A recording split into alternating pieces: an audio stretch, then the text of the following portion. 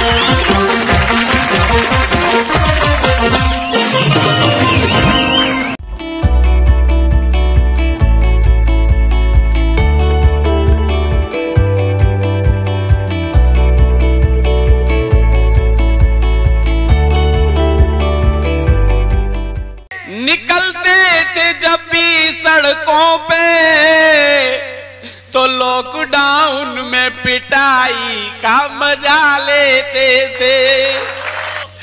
पत्नी भेजती थी, बेसन ले आओ एक किलो, और हम सूजी लेके घर लौटते देश की राजधानी दिल्ली से हमारे बीच में एक ऐसे शानदार कवि आए हैं, जो तुरंत कविता बनाते हैं, जिनका नाम भी है सुनहरी लाल तुरंत।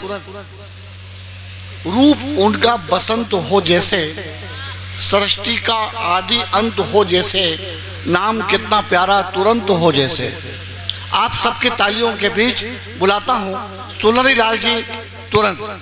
अभी हमारे सैंडल जी कहूँ क्या कहूँ? सांडिल्य जी ने एक बहुत अच्छी बात बताई। मैं वहीं से शुरू करूँगा। ई रिक्शा और ऊ रिक्शा और ई कुत्ता और ऊ कुत्ता अब ई कुत्ता की बात बताता हूँ। सबसे पहले, आज मैं जब आया था तो हमारे गंगवार जी ने ऊपर कमरे में हमें रोका हुआ है। एक पिल्ला छोटा सा है पता नहीं कहाँ से ले आए सफ़ेद रंग का। ई पिल्ला। इतने बड़े बड़े तो बाल हैं उसके। और हाथ पैर इतने छोटे छोटे से हैं। और सारा शरीर पे बाल ही बाल सफ़ेद रंग का है। बहुत तेज़ी से दौड़ता हुआ आया। मैंने सोचा कि रुई उड़ के आ रही है। मैंने उसे पकड़ा तो एकदम करने लगा। वो मैंने उसको जैसे पकड़ा और इतना अच्छा लगा चार पाँच बार उसको पुचकारा। तभी गंगवार जी आ गए। और अरे, क्या कर रहे हो? तुरंत जी क्या कर रहे हो? मैंने की पुचकार रहा हूँ। तो बोले, जिधर से इसे पुचकार रहे हो, इधर इसका मुँह नहीं है।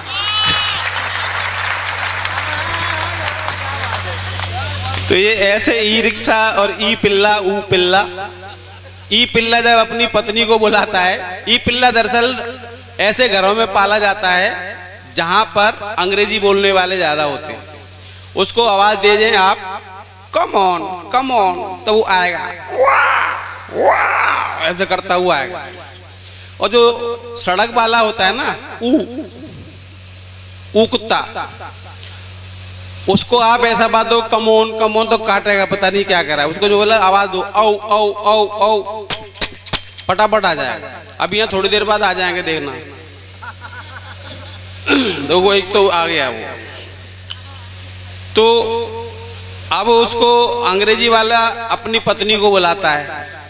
तो कैसे बुलाता है?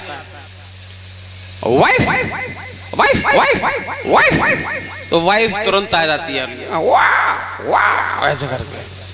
और जो ऊ कुत्ता होता है ना, वो अंग्रेज़ी नहीं जानता, वो हिंदी में बुलाता है। अपनी वाइफ को बिल्कुल डायरेक्ट सबके सामने बुलाता है। बहू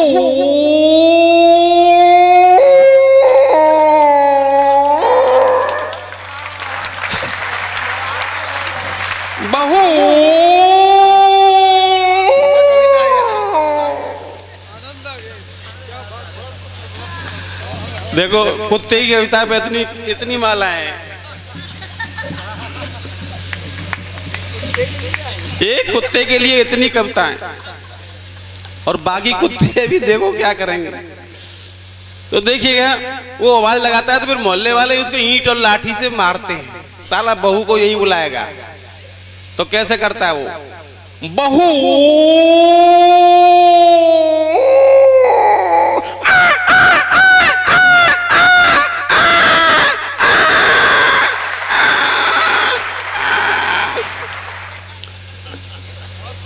चलिए साहब अब कविता सुनाते हैं आप। अकेला जी ने शुरू में कहा था कि हमने एक बहुत बढ़िया गुलदस्ता सजाया है।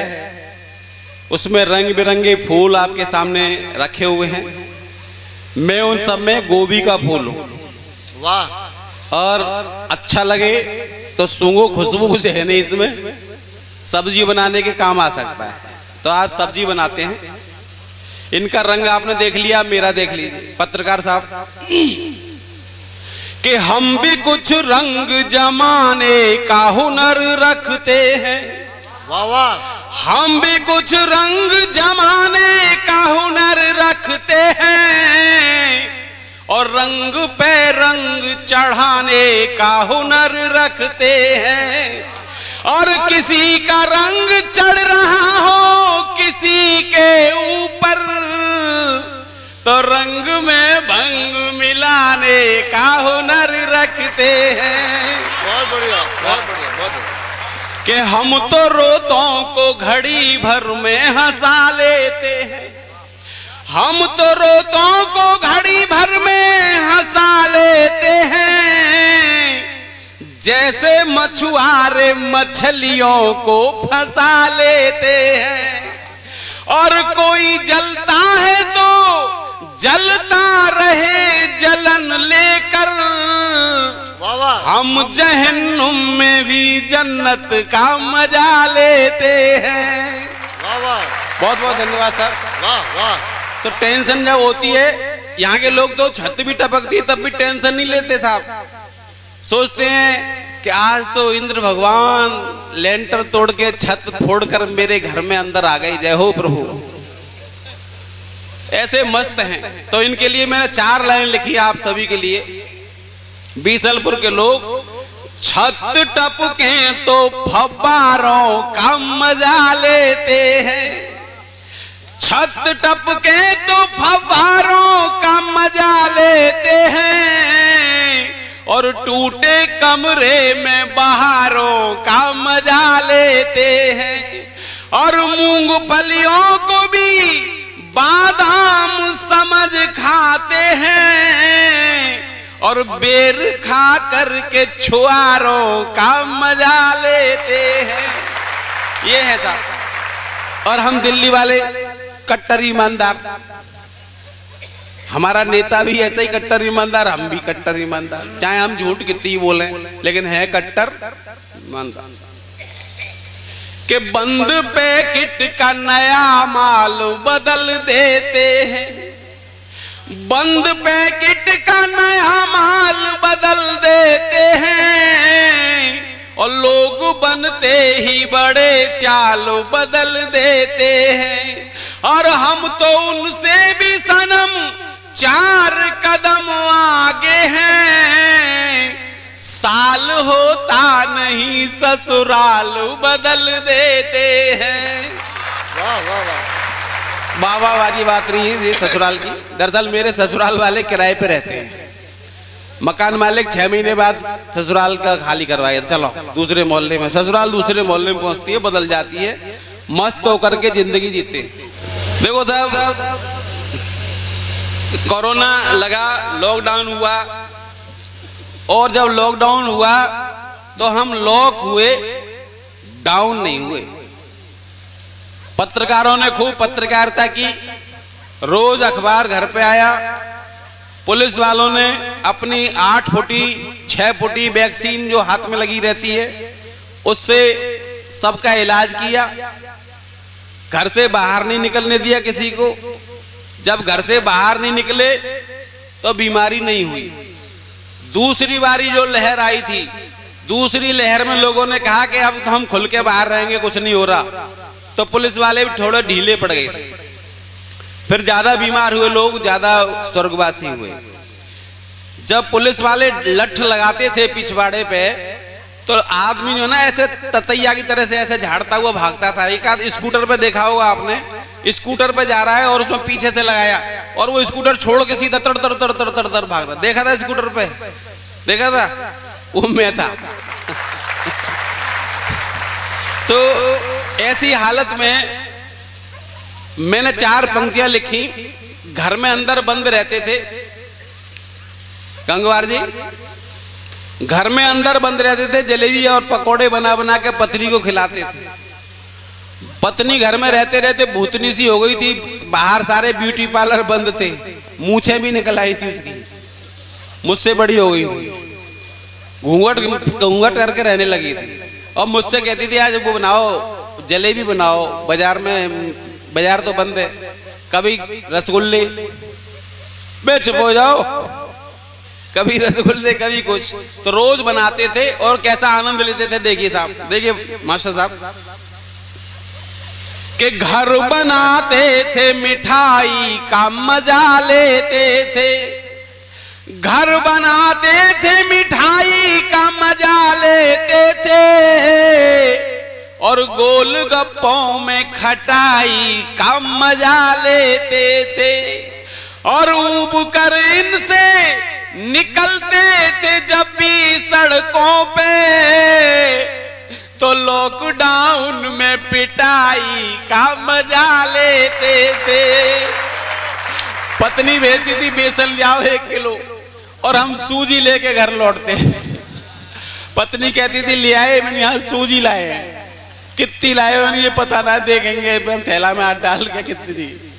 तो झोला में हाथ डालते थे तो पता नहीं लग पाती थी कितनी, तोल ही नहीं पाते थे। इतनी थे सूजी होती थी।